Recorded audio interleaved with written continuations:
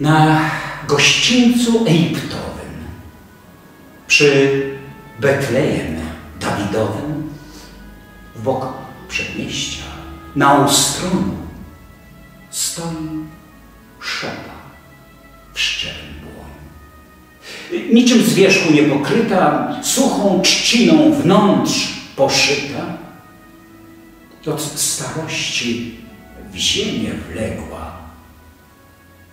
Tam przeczysta panna zległa. Tędy przed tym osieł z wołem odpoczywał pod okołem. Na tym miejscu matka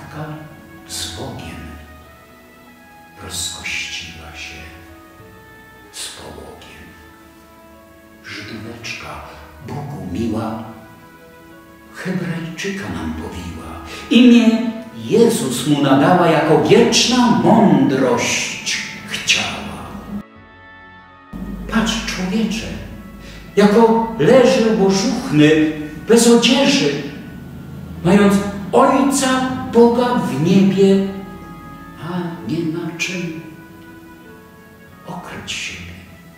Ten, co ptaszkom barwę daje, na wiążce siana przestaje, co wszystek świat w palcach dzierży, żebrze mleka u macierzy.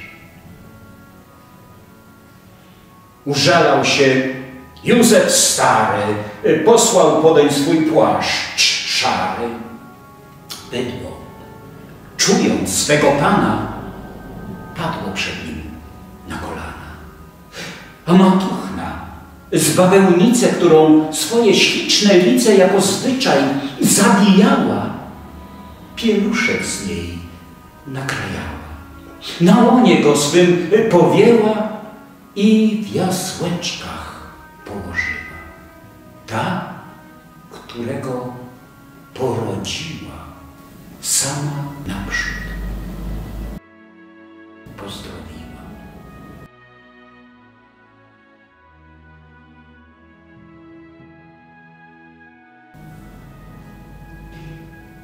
Gdy się ta rzecz w szopie działa, w obłokach się pokazała światłość dworu niebieskiego i pułk wojska anielskiego. Tam pasterze w tej krainie, strzegąc trzody na dolinie, światłością w twarz uderzeni, ocknęli potrwożeni. Usłyszą rzecz z nieba taką. Opowiadam wam wszelaką radość. Wiedźcie, co się stało. Bóg się wcielił w ludzkie ciało. Chwała bądź na wysokości Bogu, a ziemskiej niskości dobrej woli ludziom wszędzie pokój wieczny niechaj będzie. Ten macie znak.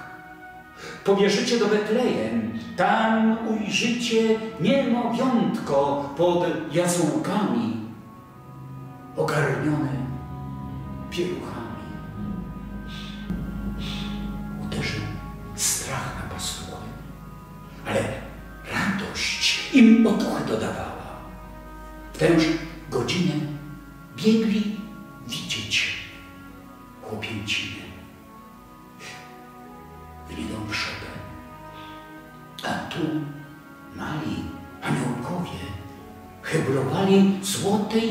wierzby suchą lipkę Jezusowi na polipkę.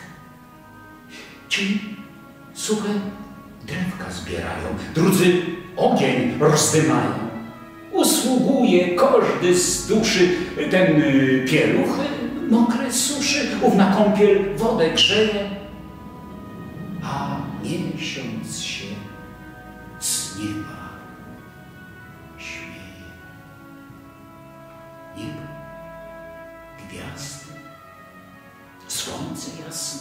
widząc w szopie dziecię krasne, hamują swe prędkie biegi, mając po nim pilne szpiegi. Radzi, by go przywitali i powinną cześć oddali. Ale ich w tym uwierzyli pastuszkowie i anieli. Już też zakwitnęły zorze, już poczęło igrać morze, już i wróblikowie mali pod strzechą się dosywali.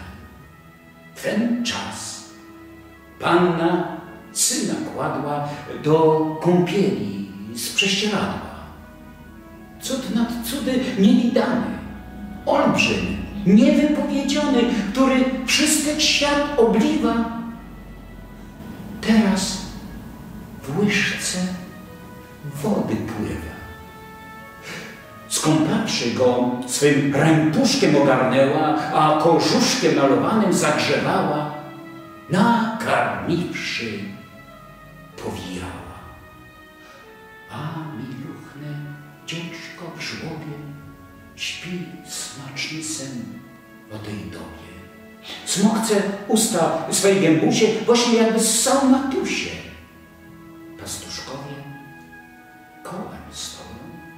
Ci wrzaskliwe gajtki stroją, są multanki, są piszczele, są i prości skrzypiciele. Różnie, różnie służą Bogu. Ten na głośnym trąbi rogu, którzy kiedy tak śpiewali, trzej królowie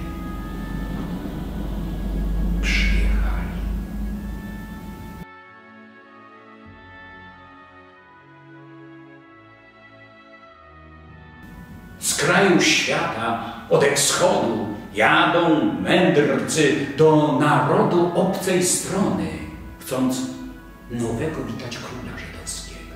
Dniem i nocą pośpieszają, miasta, zamki omijają. Przewodnika im nie trzeba, mają gońca w pośród nieba. Puścili się potem torem do Soliny przed wieczorem. Tam Heroda nawiedzili, u niego nic nie sprawili. Za powabem jasnej gwiazdy idą znowu na podjazdy, ale już ich serce jeszcze przeczuwało bliskie miejsce. A gdy szop oglądali, z koni swoich rozsiadali, słudzy skarbów dobywali, sami szat swych przywdziewali. Gaspar Bisior kładzie nasień. Malcher w drogim altym basie. A Baltazar przypalały, srebrogłów się stroi biały. Potem szopę zaraz proście, z nieznajomych krajów goście, palcem Bożym prowadzeni, do ubogiej weszli sieni. Nie było tam złotem tkanych drogich szpaler, haftowanych. Żłób z drabiną stał przy ścienie, a sam Jezus spał na sieni. Zdumieją się, potem staną, widzą pannę zadumaną, widzą Józwa podeszłego oraz z bydłem klęczącego. A gdy bliżej przystąpili, dziecię w jaskółkach obaczyli. Gwiazda, co ich prowadziła, ta im wszystko tłumaczyła.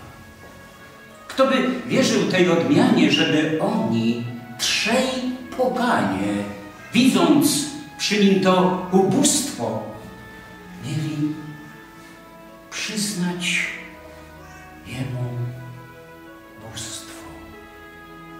Rozważając tajemnice cudów bożych, Na oblice padli przed nim, cześć mu dali i proroctwa wykonali.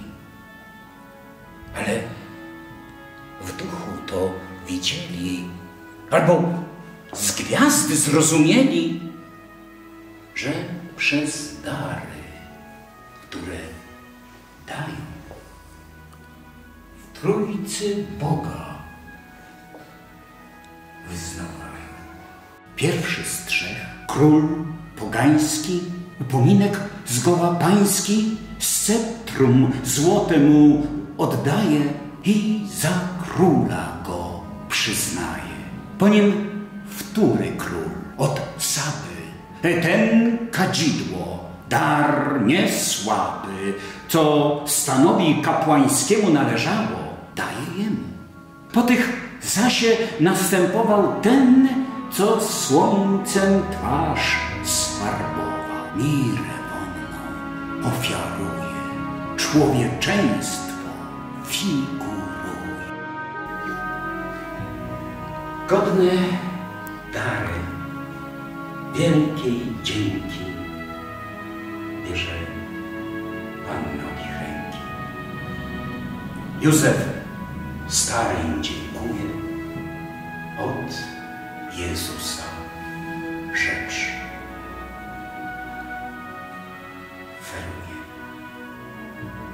A gdy Bogu cześć oddali, z Maryją się pożegnali i na wieczne pamiętanie powtarzali. Pożegnali.